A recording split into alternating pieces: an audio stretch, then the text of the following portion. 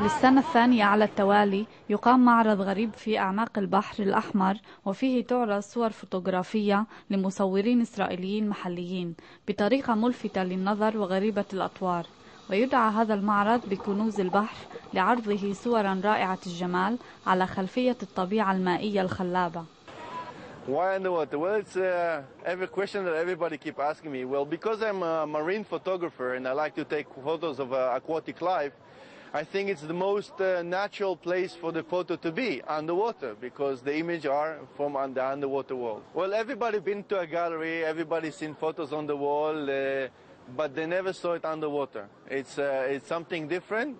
It's uh, abstract in a way, and it's natural in a way because you see the aquatic life in the real uh, area, and you get wet and it's nice. I mean, everybody can do it. Even young kids that can go and snorkel, uh, beginners, introductory dive, professionals, everybody can go into the water and enjoy it.